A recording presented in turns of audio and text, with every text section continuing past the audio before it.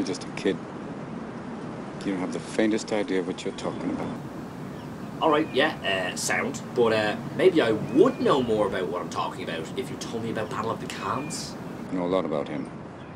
Life's work, political aspirations, him and the Pope, sexual orientation, the whole works, right? Um, I, I, I don't really care about Pope Francis's sexual orientation, if I'm being perfectly honest with you.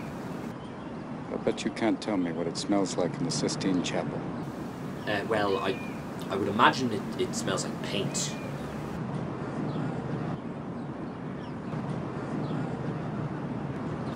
What's up there that you're looking at?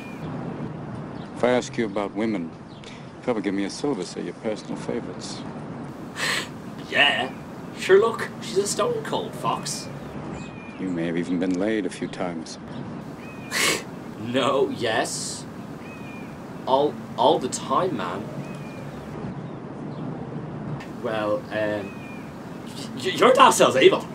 But you can't tell me what it feels like to wake up next to a woman and feel truly happy.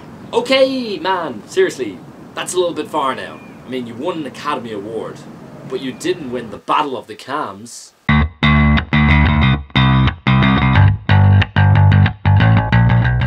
Guys, so this year for Battle of the Cams there are three things we want you to include in your video entry.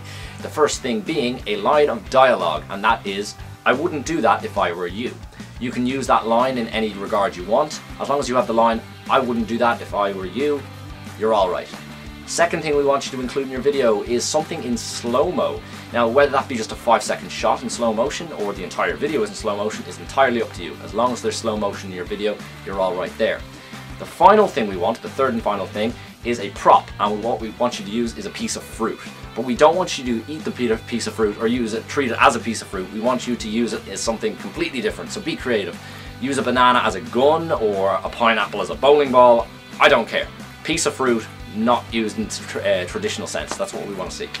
Uh, so Battle of the Cams this year is going to take place from noon on Monday the 13th of February and it closes and we're not taking in any entries after 11pm on Friday the 17th.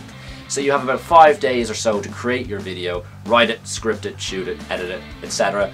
Uh, you're going to send it into one of the emails we will have um, written somewhere in the description and um, the following week we will screen the best videos. So hopefully you'll win a prize. Make sure you include the three things and uh, good luck to everyone.